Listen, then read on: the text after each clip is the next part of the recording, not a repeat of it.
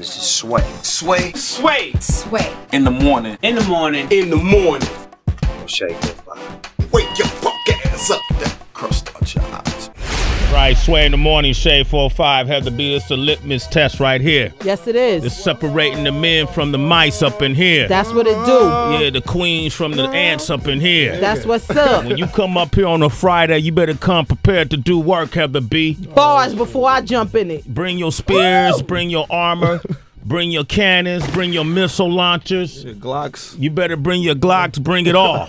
You better come with your A game when you come up here on a Friday, Heather B. I know it. Screw that. Every day you come up here, come with your A game. A game only. Because we only have only gonna have A listers up here.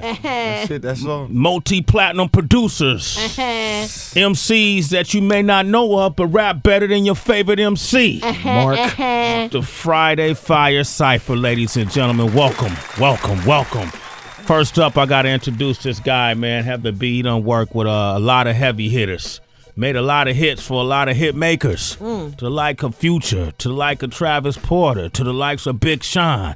And the list goes on and on and on. DJ Spinz is here, ladies and gentlemen. Yo, yo, what's good? What up, man? How you doing, bruh? Man, I'm blessed. How about you, brother? Oh man, it's good to see you on our show. I'm glad to be here. Yeah, man. Born were you born and raised? Where were you born and raised? I was actually born in uh, Augusta, Georgia. Okay. So, home of James Brown, but I've been in Atlanta probably the last, what, eight years? Eight years. Yeah. as, as a kid, did they do a lot of James Brown history, like in elementary, because he was from there? Did they tell y'all about him? Yeah, that's all we got other than the Masters, the golf tournament. So, Yeah. You know, that you hear about it a lot, but mainly, you know, I just grew up doing radio and actually DJing, you know, parties, school, everything, you know, clubs, concerts, whatever I could get into. I just was loving music. So, Yeah. when I moved to Atlanta, that's like the new hub, you know what I mean? So it just kind of fell into place with everything. What did you learn to? Uh, what? How did you learn to program beats? What program was you using? Uh, I actually started with uh, Reason. With what I mean? Reason. Okay. Yeah, and then you know everybody was using Fruity Loops and stuff like that. So I eventually got on the wave. I use FL now, but the bulk of my stuff has actually been done in Logic. In Logic. So what's the difference for those who don't know? Like, explain the difference. I mean, you know, it's a million different ways you could get something done, and mm. you know, all the programs just have their special way of doing certain things. Yeah. But you know, I I'm learning all of them. The only one I haven't learned yet is Ableton. So Ableton. Okay. All right. Heather could teach you that, right, Heather? I got you. You know, I want to ask you really quickly. Starting out as a producer, I think you get turned down a lot sometimes in the beginning. What made you keep going with having that? You know, you getting turned down. You kind of second guess your career choice. What made you keep wanting to make beats? Man, to be honest, I really making beats to me was secondary. Mm-hmm. I was DJing. You know, I was doing the radio shows with Scream. Shout out to Scream Hood Rich. You know what I'm saying? Scream, what up?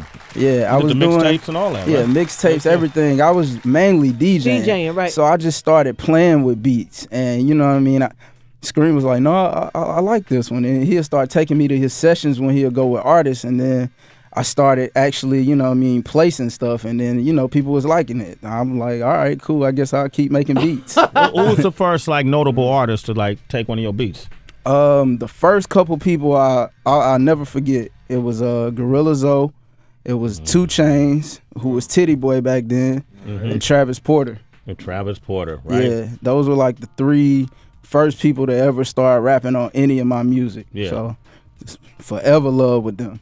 I'm curious about um the producer world. Is there any like friendly rivalry or like not so friendly the same way it is with MCs? Or do you guys kind of just immediately embrace each other? In my immediate circle, we all embrace each other. You know, Southside is my brother. You know, he was supposed to be here today. Metro Boomin, Sonny Digital, all of them, like we talk on a daily, weekly basis. Those are my, you know what I mean, my buddies. So, you know, with with us, it's all love, and really, I just respect good art. So.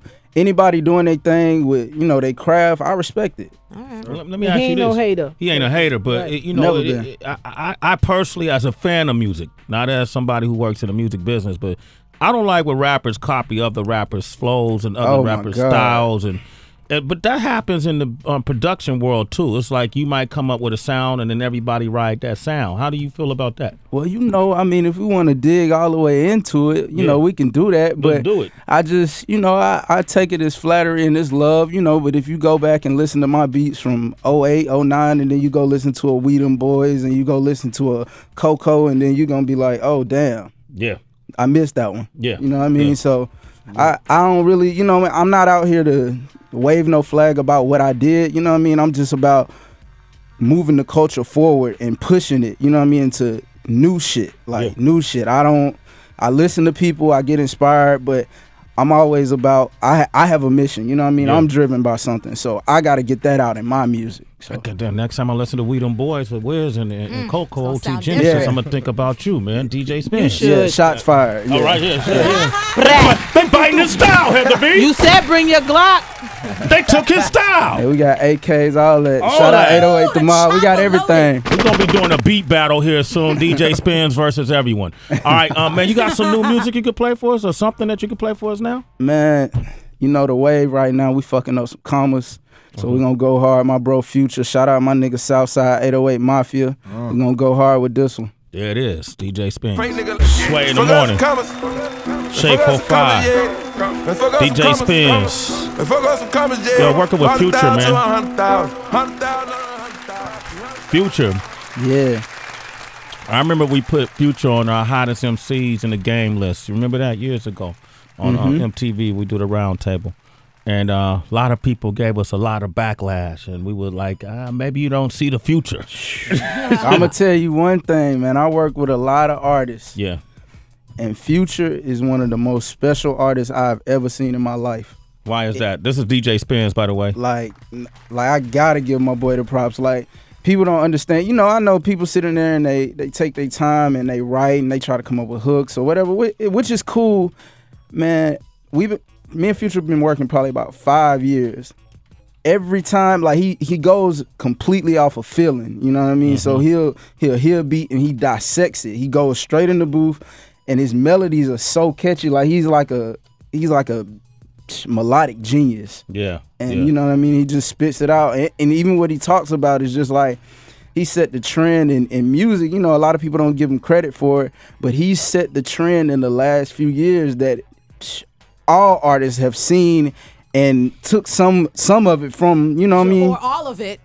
or all of it. You know what I mean? You listen to a lot of this music now is very post future. Yes. You know what I'm It's saying? So futuristic. yeah, like, Right. and you know, we had a whole futuristic movement before future, but all of that shit comes from the pot that we stir in every day. You know what day. I mean? We working, and you know, this real organic. It's no, you know, we not sending beats. We pulling up on niggas like, hey, uh, what's up? We doing mm-hmm. it right here. Yeah. So I mean, tell the truth. I mean, I, we've sat and I've asked Future. Like, it's so many people that have borrowed your energy, and it's you know, you almost it's almost flattering to tell people stop giving you credit for what you brought into the world. You know, then it's like, well, that ain't so flattering now. You're doing it just like me, but you're not acknowledging that that's where you got the energy from. You know, they're trying to run off with the swag. there it is, man.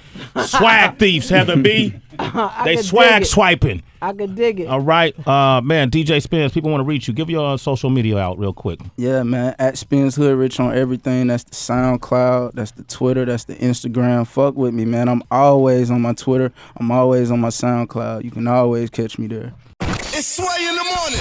Only On Shade 45.